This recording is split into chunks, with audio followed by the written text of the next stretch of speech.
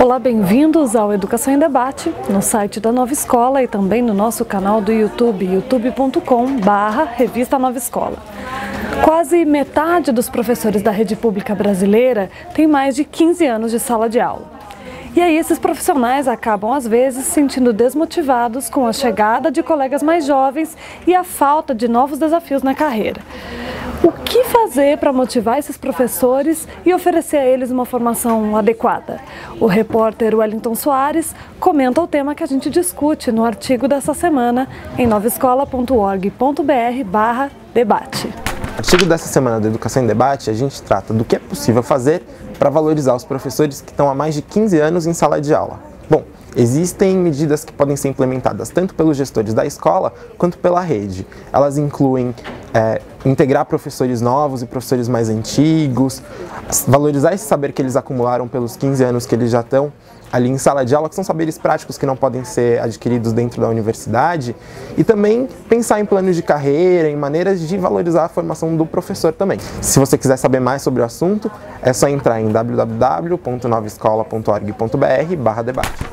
Alfabetizar as crianças na idade certa, aprovar o Plano Nacional de Educação, ampliar o número de creches, são alguns dos temas que vão ser debatidos em conferências municipais e estaduais de educação ao longo do ano de 2013. Mas para fechar essas propostas e discutir novas metas para melhorar a qualidade de educação no Brasil, o ministro da Educação, Aloysio Mercadante, já agendou a segunda Conferência Nacional de Educação, que vai acontecer entre os dias 17 e 21 de fevereiro de 2014 em Brasília. Vale a pena ficar de olho e participar das discussões aí na sua cidade. O Senado aprovou na quarta-feira, dia 5, uma punição para professores e gestores escolares que desrespeitarem alunos com autismo. A punição pode chegar a uma multa de até 20 salários mínimos e, nos casos mais graves, até a uma reclusão de 12 anos. A punição faz parte da Política Nacional de Proteção dos Direitos da Pessoa com Transtorno do Espectro Autista, que foi aprovada pelo Senado e ainda precisa ser sancionada pela presidente Dilma Rousseff.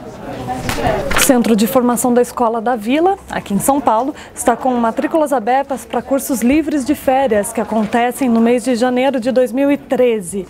São cursos voltados para professores e gestores escolares da educação infantil até o final do Fundamental 2. Mais informações no site da escola www.escoladavila.com.br.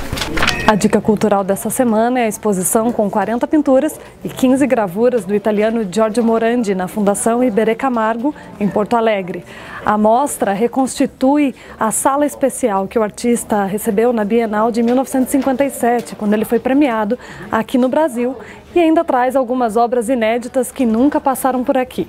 Vale a pena conferir. A Fundação Iberê Camargo fica aberta de terça a domingo, do meio-dia às sete da noite, e a entrada é gratuita.